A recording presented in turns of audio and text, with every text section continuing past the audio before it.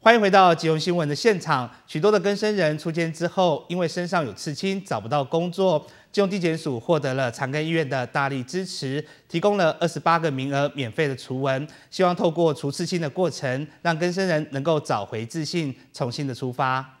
父母养我生我们，本来一身白白的啊，为什么我们把整个身体又毁坏掉啊？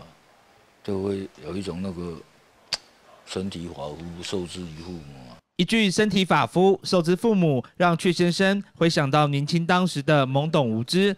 今晚出监后，已经走上了正途，但跟随三十三年的刺青图案，还是会遭人异样的眼光。啊，想要去河边游泳，还是带带孩子去游泳池，那变成自己就不敢下去了。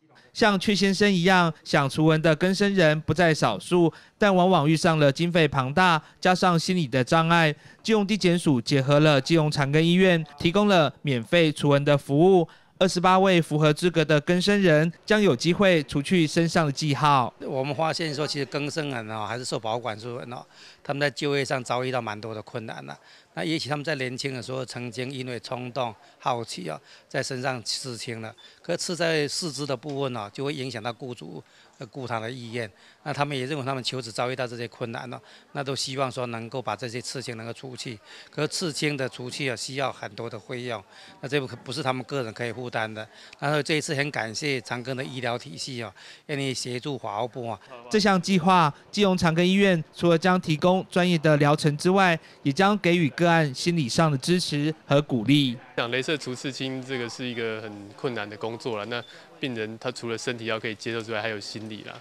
那当初很多人因为年纪轻不懂事，那做了一些这个刺青的决定哦，那在身上留下一些印记哦。那那今天我们借由这个去除刺青的这个活动哦，除了改变身体形象之外，最重要的是改变他们的心理啦。那让他们更有自信，然后更能够进入社会，那社会可以更接更接纳他们这样。除文的说明会上，更生人踊跃出席。基隆地检署希望透过除文的过程，让个案能够重建信心，重新再出发。记者黄少明采访报道。